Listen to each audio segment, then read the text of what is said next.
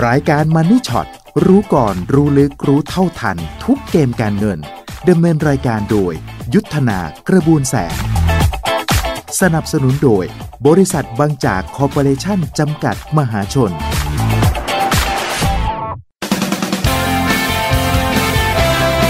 ช่วง รู้ก่อนรู้ลึกรู้เท่าทัน ทุกเกมการเงิน เอาละครับ เดี๋ยวขอแวะไปดูผู้สื่อข่าวพิเศษ ประจำรายการมานี่ช็อตของเรา คุณปุ๋ยมาที่นี่เผ่าจำรูนนะครับ สวัสดีปีใหม่ครับคุณปุ๋ยครับ สวัสดีปีใหม่ค่ะพี่ยุทธค่ะสวัสดีปีใหม่คุณผู้ฟังด้วยค่ะอ่าเอารางวัลคุณแม่ดีเด่นประจำรายการไปเลยนะครับโอ้โหสุดยอดคุณแม่เลย แล้วก็คุณลูกก็มักจะมีผลงานมาให้ชื่นอกชื่นใจเป็นประจำคนโตบ้างคนเล็กบ้างสลับกันไปนะครับอ่านะครับอ้าววันนี้จะมีอะไรมาฝากเราบ้างครับคุณปุ๋ยครับ จะต้องถามพี่ยุทธก่อนว่าเราจะไปดูเรื่องของญี่ปุ่นก่อน หรือว่าเราจะไปดูเรื่องของบอลก่อนดีคะเดี๋ยวนะไม่พลาดแน่ๆเลยใช่ไหมบอลไทยเนี่ยบอลบอลไทยเมื่อคืนใช่ไหมโอ้โหใช่ไปตึมไหนก็มีแต่คนบ่นเรื่องนี้ตลอด อ่าอ่าเรื่องบอลมีอะไรครับคุณปุ๋ยครับ ก็ก็อย่างที่รู้แหละค่ะ ก็พี่พี่ยุทธเป็นอ๋อแฟนบอลใช่ไหมคะอ่าก็คงจะตามอยู่ดูหรือเปล่าคะไทดูยครับไทยไปแพ้ให้กับใครนะคะ อินเดียครับ อินเดียครับ โดนไปก่อนตามมาแล้วก็ใช่โดนยิงแซงไปตามไม่ทันเลยนะครับเห็นไหมโรตีติดคอนะฮะโรตีติดคอเนี่ยเห็นไหมจี้นิดเดียวเห็นไหมพี่ยุทธเนี่ยตัวจริงแฟนพันธุ์แท้งั้นงั้นไปญี่ปุ่นกันไหมเพราะว่าอ่าตอนเนี้ยคนไทยไปเที่ยวญี่ปุ่นกันเยอะมากใช่แล้วก็ใช่แล้วก็แถวนี้ก็มีคนไปเที่ยวญี่ปุ่นก็มีนะนะนะคครัรับบเหรอคะอ่าอ๋ออ่างั้นนะครับงั้นใครที่ยังอยู่ญี่ปุ่นวันนี้นะคะครับอาจจะต้องต้องต้องรู้เรื่องนี้นิดนึงเพราะวันนี้เนี่ยญี่ปุ่นเนี่ยเป็นวันแรกเลยที่เขาครับจะเริ่มเก็บภาษี ที่ภาษีอะไรรู้ไหมคะไซโยนาระอ่าอะไรคือภาษีไซโยนาระครับปุ๋ยครับ ก็คือภาษีที่เขาจะเก็บจากพลเมืองของทุกชาติเลยค่ะอืมที่จะเดินทางออกจากประเทศญี่ปุ่นนะคะอ๋อเขาจะเก็บภาษีขาออก1,000เยนอืมกับทุกคนเลยนะคะครับซึ่งอันเนี้ย1,000เยนเมื่อตีกลับมาเป็นเงินไทยเนี่ยก็ราวๆ300กว่าบาทสามการร้อยที่กว่าบาท ใช่วันนี้วันแรกเลยครับเขาบอกว่าเขาจะเก็บเงินตรงเนี้ยเนี่ยอืมเพื่อจะไปพัฒนาเรื่องของการท่องเที่ยวของเขาอ่าไปทำให้ทุกอย่างมันดีขึ้นนะคะครับทีนี้ก็เลยต้องถามไปว่า เอ๊ะ แล้วการเก็บเงินเพิ่มอย่างเงี้ยมันเป็นอุปสรรค กับการเดินทางท่องเที่ยวไหมอย่างคนไทยก็ไปเที่ยวญี่ปุ่นเยอะนะพี่ยุทธนะปีที่แล้วเนี่ยใช่เขาว่าใช่ไปกันประมาณล้านล้านกว่าไม่ด้วยเจอใครก็ไปเจอกันแถวนั้นแหละครับปุ๋ยไปเจอกันเขาบอกคนเดินญี่ปุ่นเนี่ยได้ยินเสียงพูดภาษาไทยอะนะคะคือคนไทยไปเยอะมากเออใช่เพราะฉะนั้นถามว่านี้จะกระทบไหมครับก็เลยสอบถามไปที่คุณอเนกศรีชีวชาติค่ะอืมประธานที่ปรึกษาของสมาคมไทยบริการท่องเที่ยวครับคุณอเนกบอกว่าอย่างนี้ค่ะสามร้อยเนี่ย ถ้าหากว่าเทียบเนี่ย อาจจะไม่ได้เยอะมากอืมก็เชื่อว่า ระยะต้นๆเนี่ยอาจจะไม่ได้กระทบอะนะคะ แต่ว่าครับก็ต้องดูกันต่อไปเพราะว่าเอาแน่เอานอนไม่ได้บางทีมันเป็นผลทางจิตวิทยาเนาะพี่ยุทธเนาะใช่เพิ่มเพิ่มเงินอย่างเงี้ยไม่มากมากหรือน้อยไม่รู้หลักอ่ารู้แต่ว่าจิตวิทยามันก็มีผลก็ก็ต้องครับคอยดูกันต่อไปนะคะ ว่าจะอ่ามีมียังไงหรือเปล่าแต่ว่าเบื้องต้นเนี่ยใครที่ซื้อทัวร์ล่วงหน้านะครัคะบแล้วก็ต้องเดินทางไปแล้วแล้ว วันนี้จะต้องจ่ายเงินเนี่ยอืมอืมเขาบอกว่าส่วนใหญ่บริษัททัวร์จะรับผิดชอบรับภาระตรงไปนี้ใช่ไหมฮะใช่อ่านะเด็กคะครับ อันนี้เริ่มแล้ววันนี้วันแรกเลยใช่ไหมครับปุ๋ยวันคนี้รับวันแรกค่ะพี่ยุทธคะอ่าก็เก็บจากนักท่องเที่ยวกันนะคะครับเอาละครับขยับไปดูเรื่องที่สองกันต่อไปไหนกันต่อครับปุ๋ยครับ ไปดูเรื่องของการที่ใครเตรียมจะจับจ่ายในช่วงของตรุษจีนนะคะอ๋อก็แนะนำว่าควรจะใช้ระบบที่เขากำลังอ่า สนับสนุนให้คนไทยใช้ก็คือการใช้จ่ายผ่านพวกไอแอปพลิเคชันอืมหรือว่าอืมการใช้เงินสดให้น้อยลงนะคะครับตอนนี้เนี่ยเขาก็มีสิทธิพิเศษในการที่จะคืนภาษีมูลค่าเพิ่มโอ้ให้กับคนที่ใช้เงินใช้จ่ายในช่วงนั้นนะคะ เป็นภาษีวัตคืนให้ห้าเปอร์เซ็นค่ะอืมแต่ว่ามีอืมข้อแม้นะคะ จะต้อคงรับใช้จ่ายผ่านบัตรเดบิตแล้วก็อืมต้องใช้ คือต้องมีผูกไว้หนึ่งใบเท่านั้นครับโดยการเริ่มลงทะเบียนวันเนี้ยไปลงได้เลยอ่าใครที่ตั้งใจว่าเอาละเดี๋ยวจะไปซื้อนู่นซื้อนี่ตรุดจีนนะครับอ่า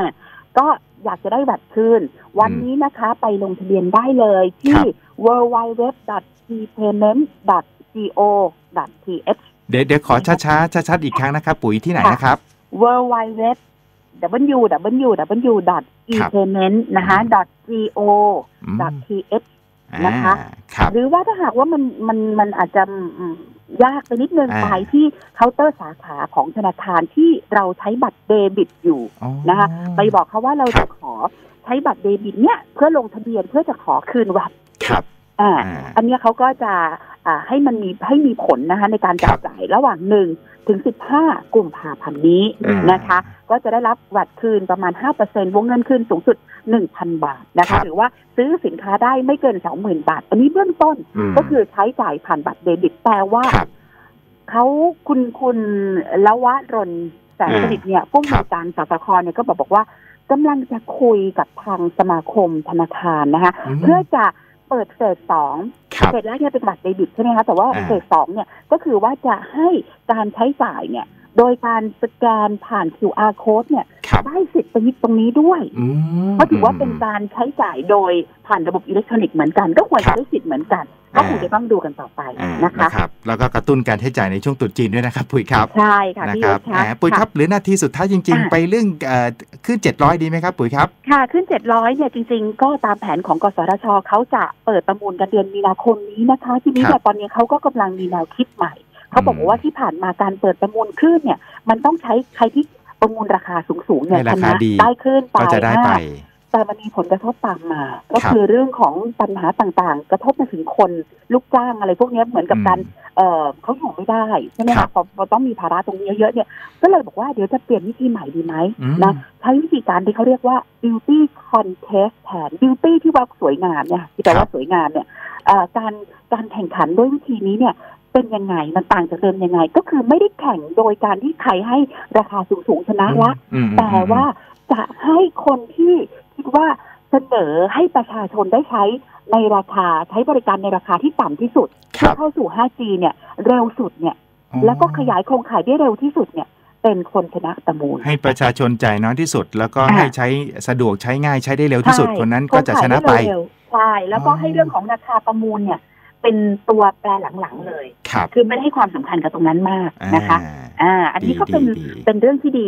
มันน่าจะใช้ตั้งนานแล้วนะพี่ยุทธครับครับอันนี้รอรอรอจะไฟนอลใช่ไหมครับปุ๋ยครับ ใช่ค่ะงื่อนไขเขาก็นี้บอกเขาเขาเขาบอกว่ากำลังจะต้องพิจารณาแนวทางนี้แล้วอ่าแล้วก็คาดว่าจะใช้ในการครับประมูลในเดือนมีนาคมเนี้ยค่ะ ครับ 30 วินาทีสุดท้ายสัปดาห์นี้มีประชุมคอรมออะไรวาระไหนน่าสนใจบ้างไหมครับปุ๋ยครับ สัปดาห์นี้นะคะ คงต้องดูกันต่อไปก็จะมีกรมสรรพสามิตนะคะ จะเสนอเป็นแพ็กเกจค่ะภาษีสรรพสามิตสำหรับอ่ารถยนต์ไฟฟ้า EV อืมนะคะ อันนี้ก็เป็นเรื่องหนึ่งแต่ว่าอีกครับเรื่องหนึ่งที่อยากจะให้จับตากันดีๆเลย ก็คือเรื่องของการพบกันระหว่างผู้แทนของทางสหรัฐแล้วก็จีนจีน เพื่อที่จะลดความรุนแรงของสงครามการค้าระหว่างกันวันนี้แล้วก็พรุ่งนี้แหละค่ะครับก็น่าจะมีอะไรที่ดีๆออกมานะคะพี่ยุทธครับเอาละครับ วันนี้ขอบคุณอย่างสูงเลยนะครับ ปุ๋ยครับค่ะขอบคุณค่ะสวัสดีค่ะ สวัสดีครับ คุณปุ๋ยมาที่นี่เผ่าจำรูนผู้สื่อข่าวพิเศษประจำรายการมันนี่ช็อตของเรานะครับ เอาละครับคุณผู้ฟังครับ เราขอพักกันครู่เดียว แล้วเดี๋ยวช่วงหน้ากลับมา ช่วงสุดท้ายของรายการมันนี่ช็อตรู้ก่อนรู้ลึกรู้เท่าทัน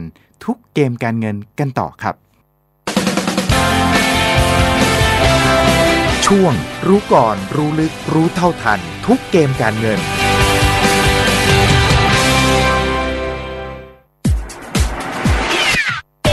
รายการมันนี่ช็อตรู้ก่อนรู้ลึกรู้เท่าทัน ทุกเกมการเงินดำเนินรายการโดย ยุทธนากระบวนแสง สนับสนุนโดย บริษัทบางจากคอร์ปอเรชั่นจำกัดมหาชน